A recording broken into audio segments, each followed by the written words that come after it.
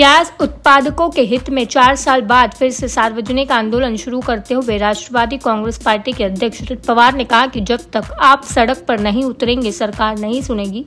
उन्होंने प्याज निर्यात पर केंद्र के प्रतिबंध को रद्द करने की मांग की। तिरासी वर्षीय पवार राज्य में प्याज उगाने वाले केंद्रों में से एक नासिक के चंदवाड़ गए और एक विरोध मार्च में शामिल हुए। यहाँ मुंबई, आगरा राष्ट्रीय राजमार्ग पर सड़क जाम किया और सरकार विरोधी नारे लगाने वाले किसानों के धरना प्रदर्शन में शामिल हुए। प्याज उत्पादकों के हित में चार साल बाद फिर से सार्वजनिक आंदोलन शुरू करते हुए राष्ट्रवादी कांग्रेस पार्टी के अध्यक्ष शरद पवार ने कहा कि जब तक आप सड़क पर नहीं उतरेंगे, सरकार नहीं सुनेगी।